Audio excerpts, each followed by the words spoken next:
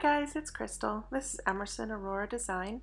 Today we're going to do a rhinestone skull um, tumbler. I started off with a spray painted black base. I bought this um, applique, it's like a sticker um, on Amazon. It's by Martha Stewart. And we're going to use these color shifting paints. I purchased these at Hobby Lobby and they have a really neat cover color shift. Um, there's a blue to green purple, there's a pink uh, that shifts to blue and purple. That's kind of the running theme with this these paints that I found. I'm also going to use this metallic teal from Artist Loft from Michaels.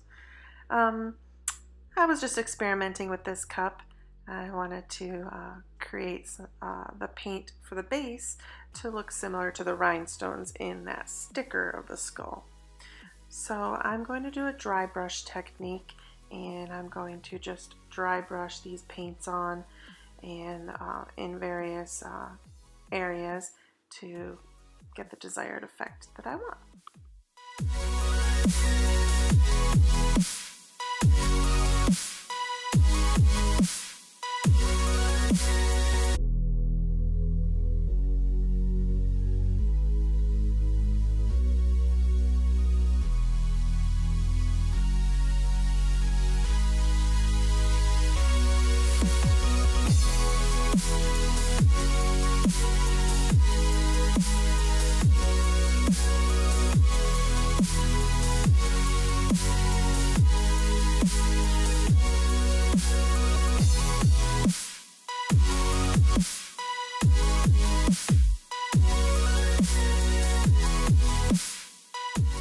So I'm going to use one of those cheap chip brushes.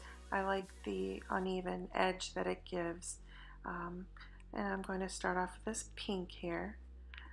I'm going to dab it in the paint and then rub, rub it on the um, paper towel and this will help give a dry brush effect. I like the grain of the bristles, um, almost like I'm doing a wood grain. It obviously doesn't turn out like a wood grain, but it gives it some texture. And you can see how that pink has a purple uh, and blue tint once you put it on that black base.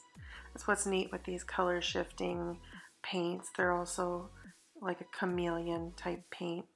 Um, you can see that it's leaving the lines on the paint there and that's what I was going for. I really wanted this to be like a textured paint.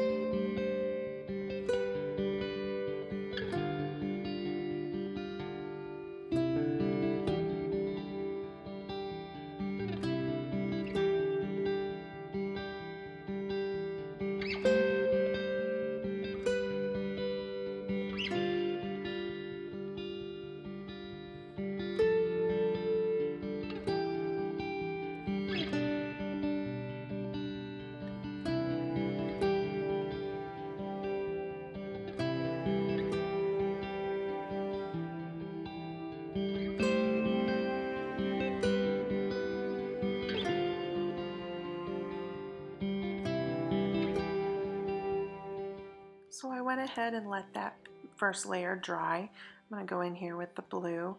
Um, I'm just going to continue layering these in different um, different ways. I want the colors to all kind of blend and uh, give the cup a lot of texture.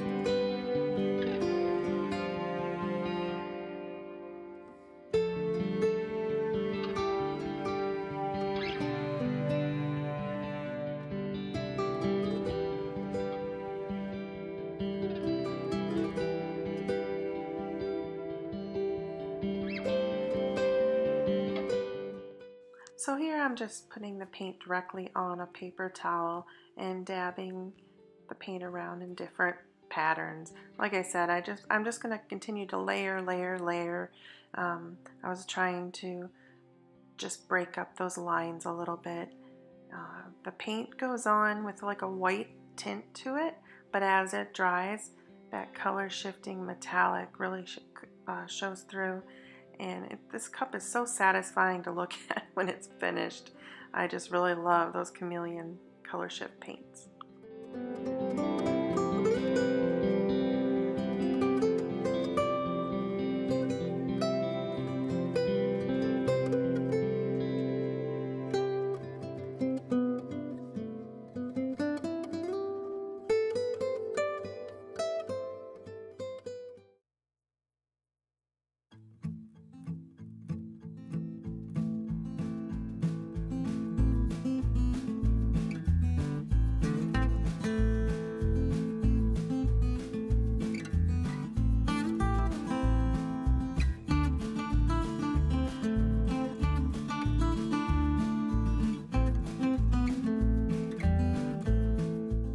So here I'm just putting the paint directly on the cup.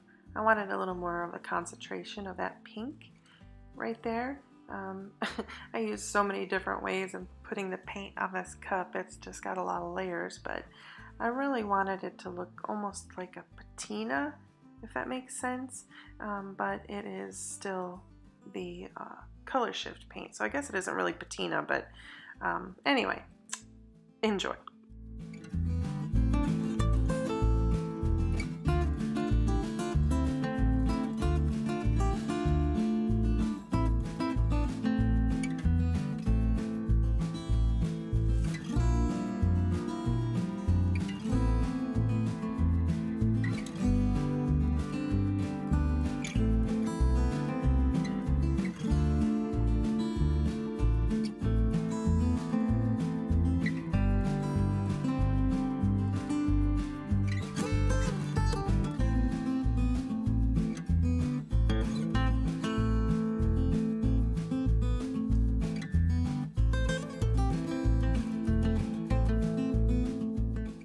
So here it is on my turner. You can really see the different textures on that paint. Turned out really pretty. So now I'm going to go ahead and put a layer resin on. And I'm going to mix up these mica, paint, uh, mica powders that I uh, received in a sample pack. They're actually thermal color changing micas. Um, there's, I think I used three different ones. Um, one is black, but when heat's applied, it turns to red and then blue. And there's a couple other ones. And I'm going to use this um, color shifting glitters, Mermaid Bay and Lethal by theglittercraze.com. Um, I want, everything about this cup is going to be color shifting. So that is the purple thermal mica. There is one that is black and I think one is like a green teal.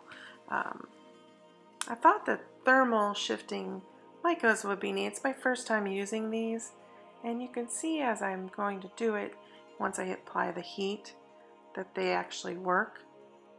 But unfortunately the thermal micas don't work or at least they don't didn't for me after I applied a top layer of resin to it. Anyway, um, Let's just see how this turns out.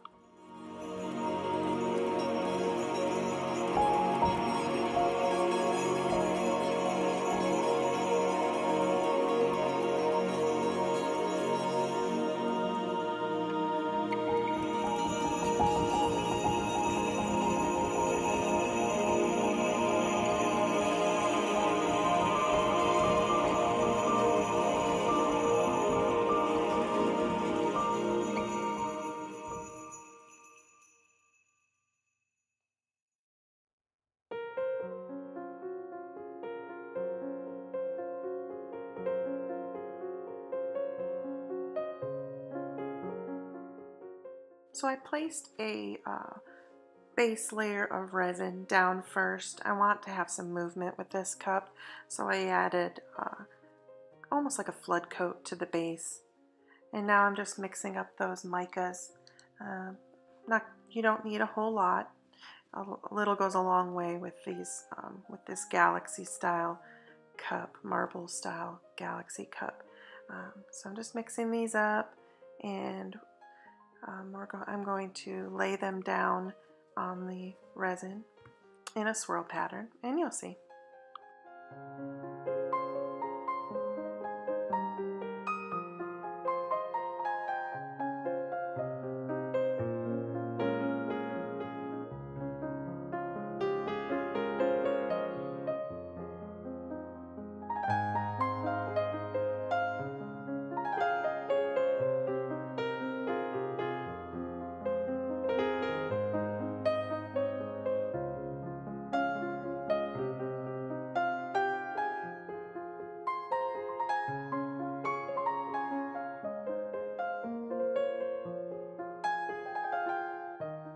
So I'm running lines of the colors in a swirl pattern. Those are my that's my favorite direction to do.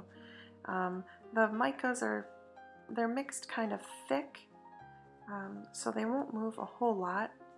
Uh, one way to remedy this is you may have seen in some of my other videos is once I lay those down, I'll go in with my finger and kind of smudge them the way that I like. Know, it just gives me more control with that swirl. I didn't want this to turn in, uh, I didn't want those colors to take over the cup because I worked so hard on that base and I really wanted that to show. Um, so you'll see me lay these down and then I'll go in and kind of smudge them a bit to thin them out and uh, go in the pattern that I'd like. Um, like I said, I have a tendency to overdo it and not know when to stop. Um, so I was trying to be as careful as I can. So here you can see me applying that heat and you can see that thermal, the thermal mica is changing color. Do you see that there? Which I thought was really, really neat. Ultimately, I thought that once this um, cup was finished, it'd almost work like a mood ring, whereas you would touch it and the stripes would change color. But unfortunately, it didn't work, and like I said, this was an experiment. So um, I'll have to find different ways to use that thermal mica. Uh, I think that the resin layer was probably a little too thick. The top layer was probably a little too thick for it to have um, any color change with holding the cup. But this cup turns out really pretty in the end. Um, you know, sometimes making cups is trial and error, and it's, you know, you just got to have fun. If it's not fun, then it's not worth working with.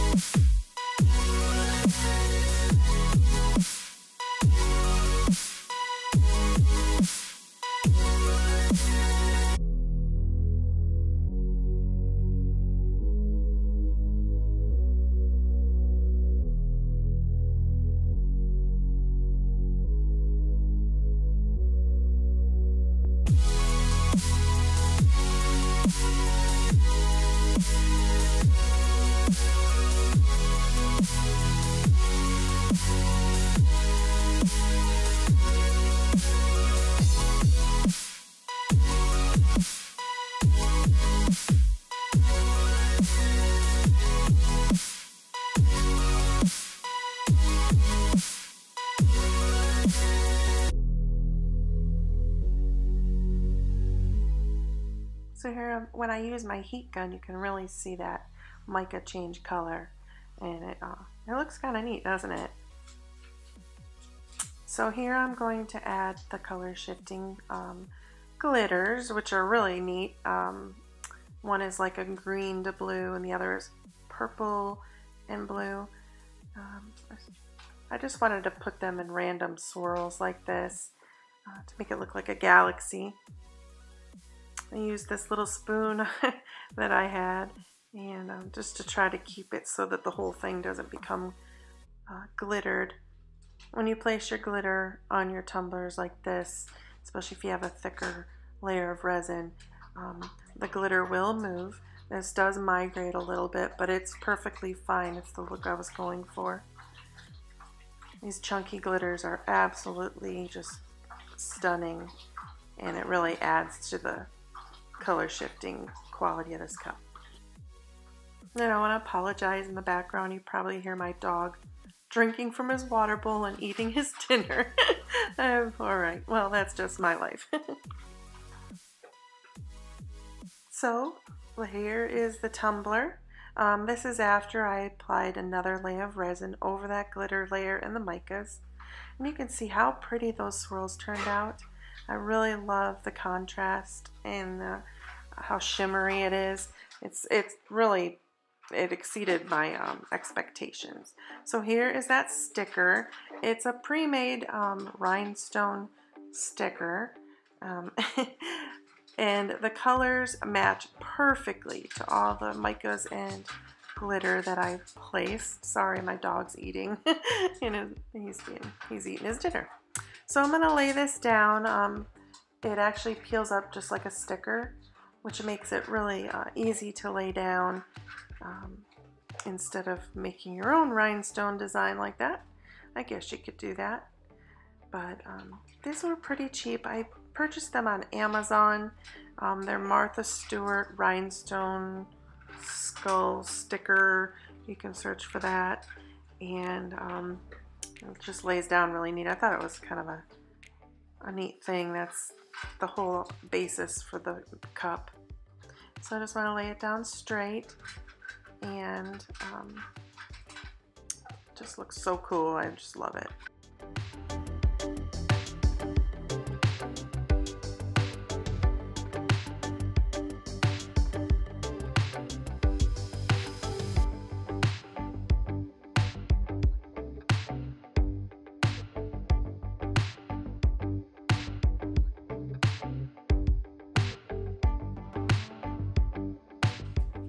So once it's placed, you can leave it as is and then just um, put a layer of resin over to secure those rhinestones.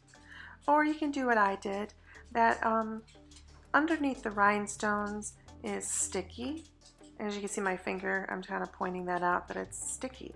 So I thought to add a little contrast and to help that um, design shine, I am going to put some magic dust on the sticky areas. This works out perfectly. I didn't have to use any adhesive. That sticker already has sticky. It's like double-sided tape basically. So I'm just putting a thick layer of that magic dust. This is from the Glitter Craze. It's just a microfine um, holographic white glitter and I'm just brushing it on into crevices. It ends up working really well because it helps delineate those rhinestones from the background of the cup.